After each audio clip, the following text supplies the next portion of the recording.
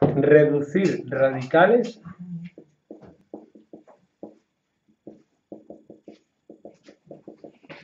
a índice común. El índice es el numerito de arriba, ¿vale? Si yo pongo raíz cuadrada de 10 y raíz cúbica de 20, ¿cómo sé qué número es mayor?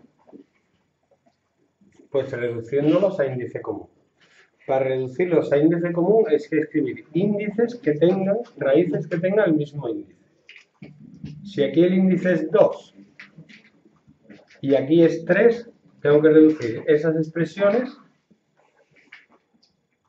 a radicales que tengan como índice el mínimo común múltiplo de 2 y 3, que es 6. ¿Vale? ¿Cómo lo hago? Una propiedad de los radicales es que si yo tengo raíz enésima de A, yo puedo meter el mismo número aquí en el índice multiplicando y en el exponente también. ¿Mm? Entonces, yo aquí puedo hacer lo siguiente.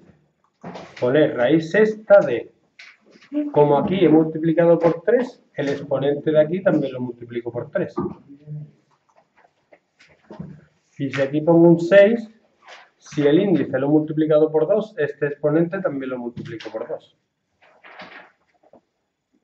Si os fijáis, este número, raíz cuadrada de 10, es igual que raíz sexta de 10 elevado a 3. ¿Por qué? Porque si lo pongo en forma de potencia, esto es 10 elevado a un medio y esto es 10 elevado a 3 sextos.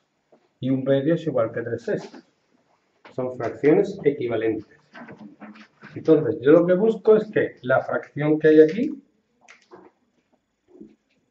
sea equivalente a la que hay aquí. Un medio, 3 sextos. Un tercio, 2 sextos. ¿Vale?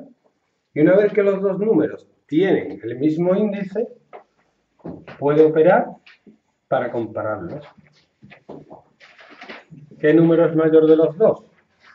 Este. ¿Por qué? Porque 1000 es mayor que 400. Entonces la raíz sexta de 1000 será mayor que la raíz sexta de 400. Eso se llama reducir a índice común y sirve para comparar.